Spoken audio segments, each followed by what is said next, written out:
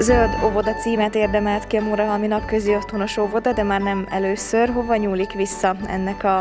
a zöld kezdeményezésnek az eredete? Sok-sok évre nyúlik vissza, hiszen mi már két alkalommal is elnyertük ezt a címet, és egy-egy ilyen zöld óvoda címet, ezt három évig birtokolhatja az óvoda. Mi kétszer ezt már megnyertük, és utána elvesztettük. Az örökös óvodára, óvoda címre nem tudtunk pályázni, pontosabban nem nyertük meg a pályázatot, és aztán azt a felvilágosítást kaptuk, hogy teljesen előről kell kezdeni. És hát nagyon nehezen vettük rá magunkat, hogy ismét neki rugaszkodjunk ennek a feladatnak, ennek a pályázatnak a megírásának, ugyanis azok a kollégáim, akik elkezdték, akiknek a nevéhez fűződik ez a kezdeményezés, ők már nyugdíjba vonultak, és szerencsére azért az utánpótlás nevelés az nem sikerült rosszul, úgyhogy találtunk a nevelőtestületünkben két olyan kollégát, akik szívesen bevállalták ezt a tevékenységet, hogy most megpróbáljuk akkor harmadszorra is beadni a pályázatunkat, és hát ha most sikerrel járunk, és hát szerencsére ez így is történt.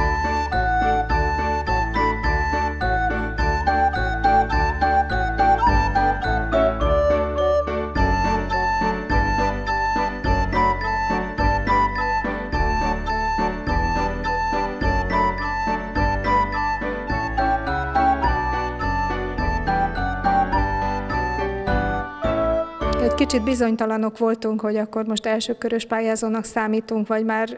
már akár a harmadiknak, és hát szerencsére ugye a harmadik körösnek fogadták be a pályázatunkat, úgyhogy ha ez a három év letelik, akkor utána megint meg lehet próbálkozni az örökös zöld óvoda cím elérésére szóló pályázatra a kírást megnyerni. Hát most nagyon sok mindent mi megtettünk már ezért a címért, ezek szerint akkor már nyol, hát 8 évvel ezelőtt is, és akkor is alkalmasnak ítéltek bennünket, és ez csak fejlődik, az, az élet, ahogy változik, ahogy fejlődik a társadalom, ugyanúgy ez a közösség, tehát környezeti nevelés, ez ugyanúgy fejlődik az óvodákban, nem csak a zöld óvodákban, mindegyik óvodában, ez nagyon-nagyon fontos terület. A környezeti nevelés, a fenntarthatóságra nevelés, ez egy nagyon új keletű kifejezés, de ez már beleépült a pedagógus kompetenciákba és a fenntarthatóságra nevelés. Ezt minden pedagógusnak valamilyen szinten követnie kell, és ez teljesen egybe vág azzal a tevékenység sorozattal, amit mi is csinálunk itt már évek óta, és Mórahalom nagyon sok minden feltétellel rendelkezik. Tényleg akár a, a, a fűtés lehetőségünk a melegvíz előállítására, kaszkádrendszer, tehát a mi óvodánk ez már évek óta élen jár ebben. A szelektív hulladékgyűjtés település szinten nagyon szépen működik. A, a szülőket és a családokat is meg tudjuk e-, ezügyben szólítani. Minden tavasszal és ősszel papírszüret akciót hirdetünk, amire nem csak a szülők, hanem utcabéliek, településről bárki lakos szívesen segít nekünk, vagy vállalkozások, és kapunk rengeteg papírhulladékot, több tonnyi, tonnányi papírhulladék szokott ilyen alkalmakkor összegyűlni, és a, a gyerekek nagyon szívesen részt vesznek ezekben a tevékenységekben.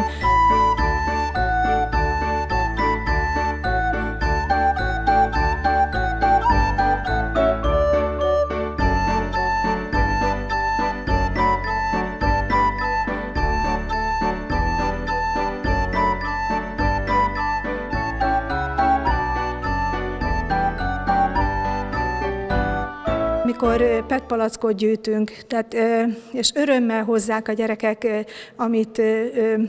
ami otthon ki, kikerül a háztartásból, és, és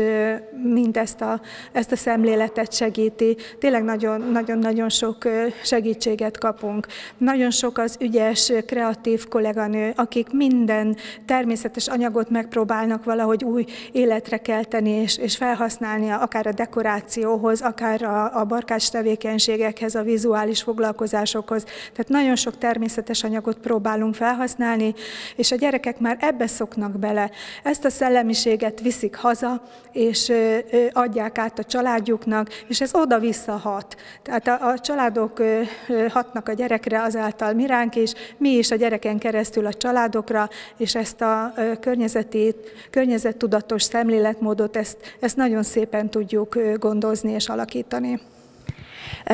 Ez hogyan van jelen a mindennapokban? Egy, egy adott napon például a gyerekek életében ez, ez a bizonyos környezettudatosság, mert hogy biztos, hogy van, igen, van a papírgyűjtés, vannak ilyen tém, akár egy témahét, vagy gondolom egy külön kiemelt, akár egy ilyen projekthét, de a mindennapi kis rutinjukba ezt hogyan tudják belecsempészni? Hát, hogy óvják, védjék a természeti értékeket, az teljesen természetes, tehát ö, m, például a, akár a, az energiafölhasználás, vigyázzunk a vízre, ne pancsoljatok sokat, kézmosásnál zárjátok el kézmosás után a csapot, ne maradjon úgy, ne folyjon hiába. Ö, ilyen porlasztók kerültek a csaptelepekre, ami által sokkal kevesebb vizet tudunk így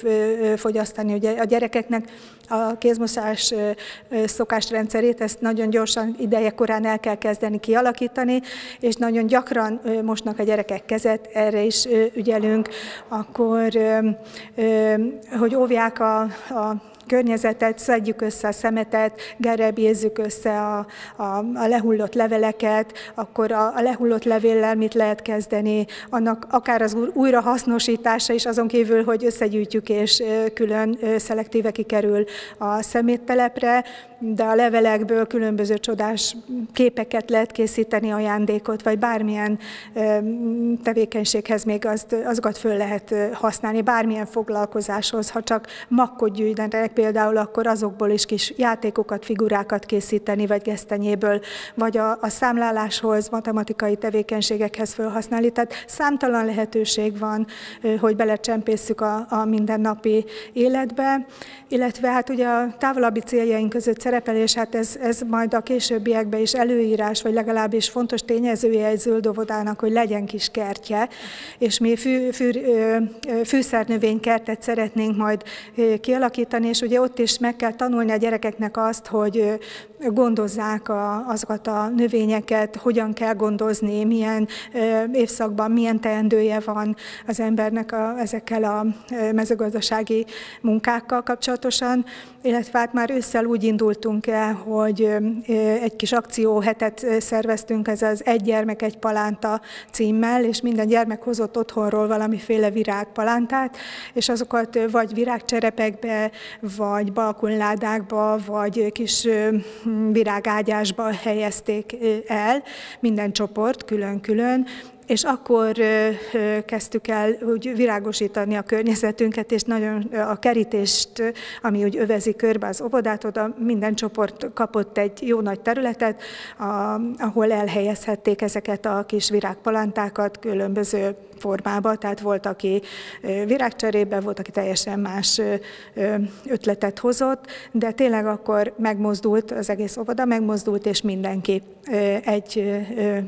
hétvégén ezzel foglalatoskodott, és nagyon szépen megújult és megszépült az óvoda környezete.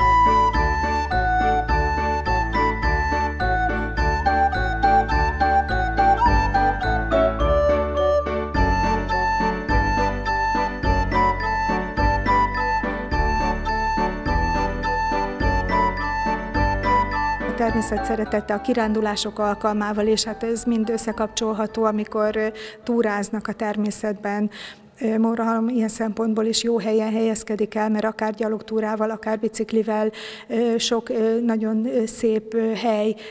elérhető, ahol sokat látnak, sokat tapasztalnak és sokat tanulhatnak a természet szépségéről. Boy, boy,